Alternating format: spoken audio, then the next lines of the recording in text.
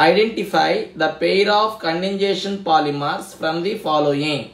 From this question data, condensation polymer means condensation polymer means the monomers which contain the monomers which contain different functional groups different functional groups and involved in polymerization with the losses of small molecules losses of small molecules like uh,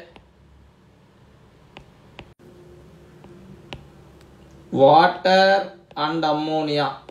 As per option verification the second one is terylene terylene contain two monomers the two monomers are ethylene glycol ch2oh ch2oh is called as ethylene glycol. And another one is uh, terephthalic acid terephthalic acid. That means uh, the first one is ethylene glycol. It contains dihydric alcohols and second one is terephthalic acid. It contain dicarboxylic acid. So these are example of uh, polyester. The structure is uh, O CH2 CH2 O CO benzene CO this is the structure of uh, so terylene is example of condensation polymer and polyester. And second one is a nylon 66 nylon 66 contain two monomers.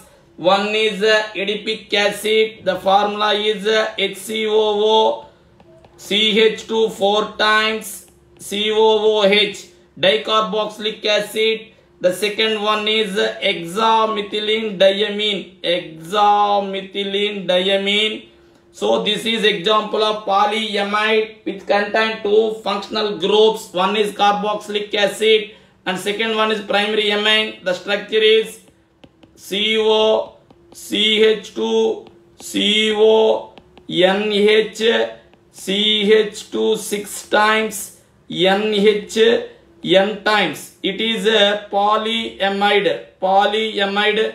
So answer is terylene and nylon 66 second option is the correct answer